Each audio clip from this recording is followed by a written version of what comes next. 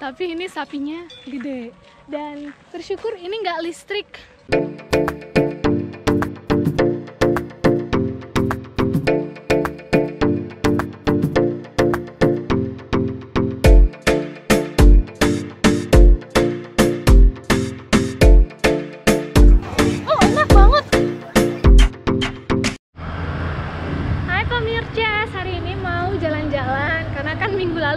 tapi pikniknya nggak jadi karena nggak ada tempat untuk duduk-duduk kemanjaan. Adanya tempatnya di tengah jalan. Kalau kalian ingin tahu gimana video itu kalian bisa lihat di sini ya. Sini.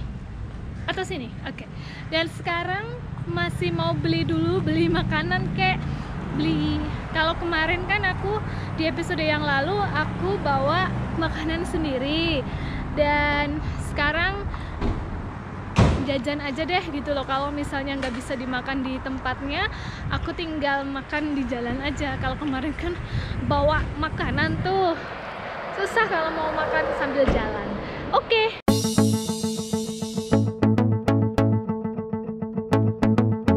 Berangkat, saatnya menuju lokasinya pemirces. Jalannya sedikit menanjak dan berkelok ya pemirces.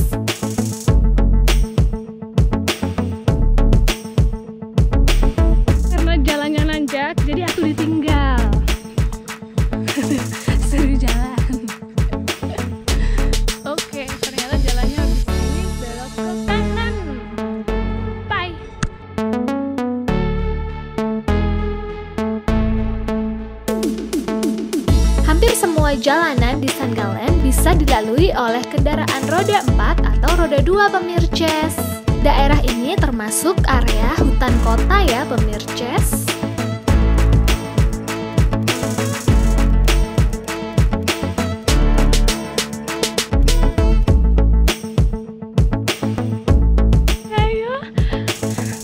ya pemirsa udahlah nggak usah pakai itu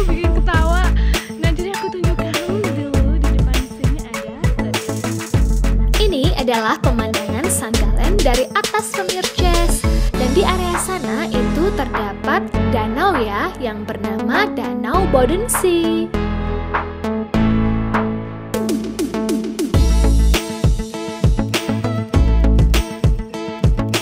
Di sana ternyata ada kegiatan keagamaan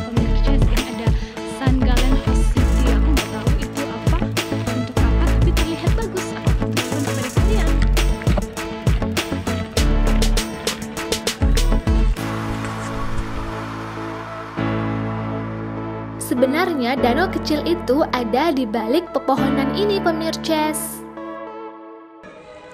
Ya,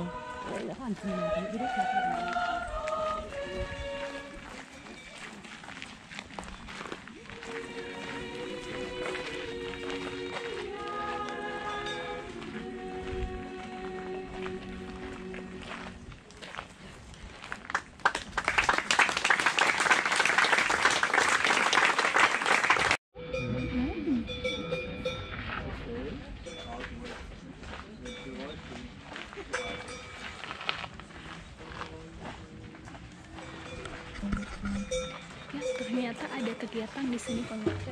Ada musik, fashion show dan lain-lain. Mau lihat yang lain? Aku akan tunjukkan.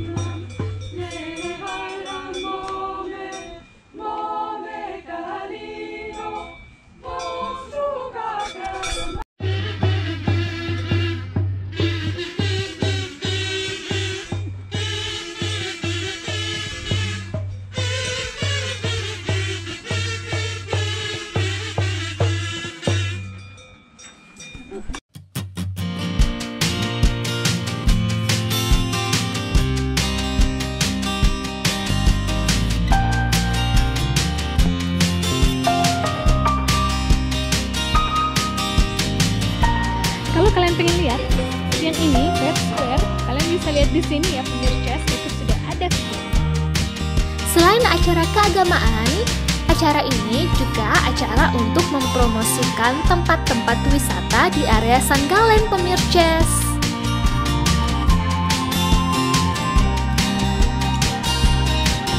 Tempat ini juga salah satu tempat yang cocok untuk sapi yang sedang memakan rumput. Kalau kalian ingin tahu sapi-sapi asli Swiss, ya inilah mereka.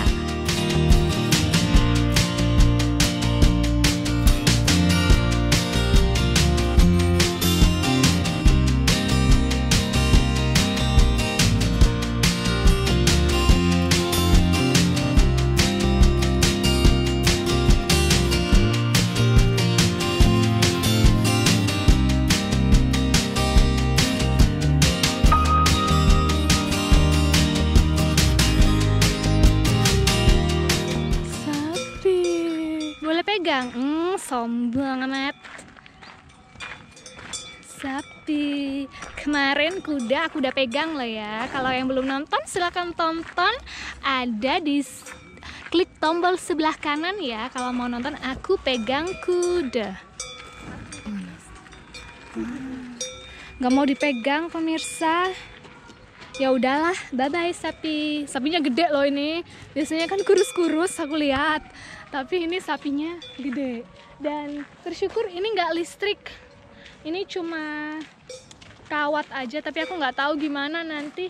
Ah aku tahu. Sapinya tinggalnya di rumah itu. Ya. Begitu. Dan ini situationnya Sebenarnya tempat aku foto ada di situ. Fotonya seperti ini. Fotonya seperti ini. Aku ka- akan taruh di sini. Aku mau foto di situ, tapi nggak bisa karena ada acara di situ.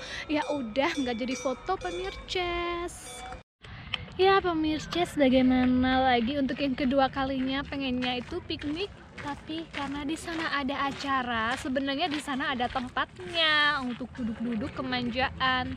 Tapi karena ada acara keagamaan, jadinya nggak bisa deh. Jadi untuk yang kedua kali pikniknya gagal. Tapi ya udahlah nggak apa-apa. Jadi aku makan di sini aja. Oke selamat makan.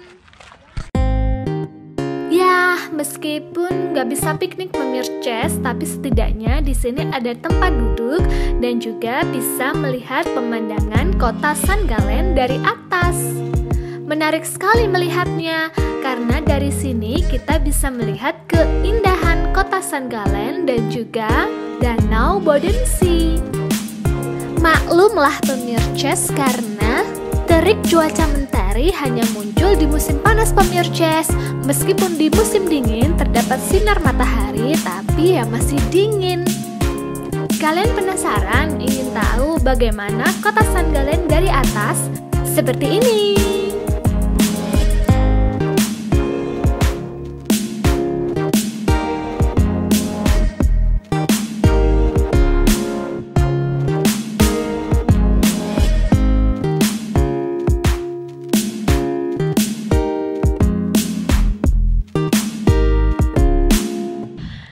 Ya pemirsa selain ada tempat duduk-duduk karena di semua eh, sisi itu ada. Dan ini juga ada tempat untuk tada! Tapi sayangnya aku terlalu pendek untuk ini. Kok bisa? Oke aku akan tunjukkan ya. Ini kan seperti ini. Jadi harus ke sini kan. Karena aku pendek nih ini nggak sampai nggak nyampe. Kalau aku bisa sih kayak gini tapi lihatnya lihat ke atas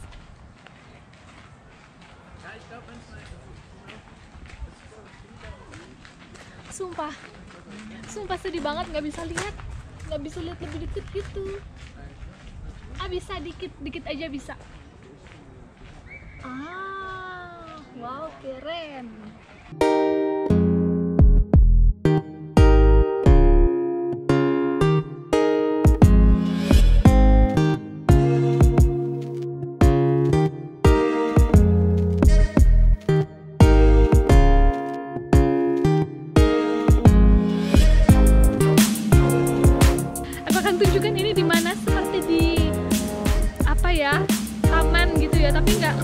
sebenarnya ini cuma gini aja. Begitu pemirsa.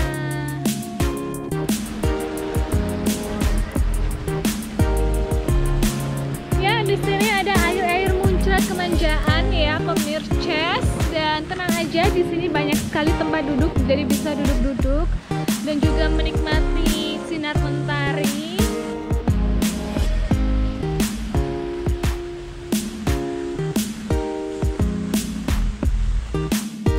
Sekarang waktunya untuk membeli tiket kereta. Ini adalah kereta kecil pemirces. Ingin tahu seperti apa? Seperti ini.